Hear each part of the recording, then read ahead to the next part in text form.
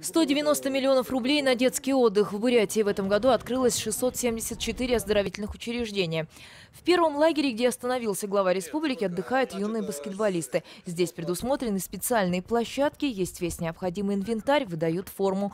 Как доложил директор учреждения, в этом году впервые лагерь работает соответственно всем нормам Санпина. Сейчас здесь отдыхает 125 человек. Сколько занимаешься уже? Вот.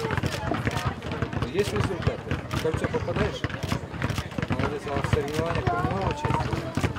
Нет еще? В команде не, еще не играли, да? А, ну, всех. Лизе 9 лет. Девочка занимается в спортивной школе «Юность». В этом лагере отдыхает впервые. Ну, тут красиво, там очень трудно, конечно, сильные тренировки становятся. Ну, у нас там две тренировки в день, одна полтора часа, другая час длится.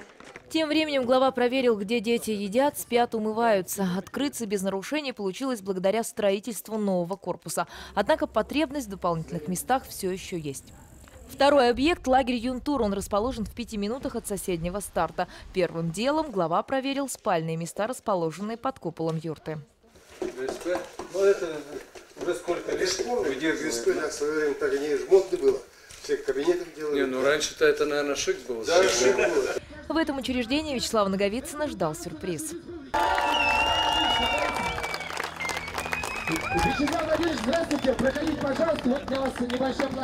Ребята подготовили целое выступление по уличной атлетике, которому обучились благодаря активистам всего за пару дней.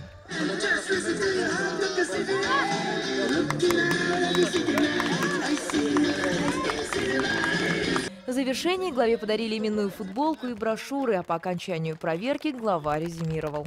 Мы сейчас пришли к выводу о том, что нужны нам обязательно в каждом таком лагере для оздоровления, как э, в зимнем варианте, хотя бы один корпус. Еще два-три корпуса должно быть такие вот летние, летние совсем дешевые, э, они в исполнении, но они должны быть обязательно благоустроенными, с туалетами, все, которые будут работать летом только. И этого нам будет вполне достаточно, поэтому нужна программа. Скорее всего, я в ближайшее время дам поручение разрабатывать такую программу. Дая Белоусова, Виктор Еланцев. Новости дня.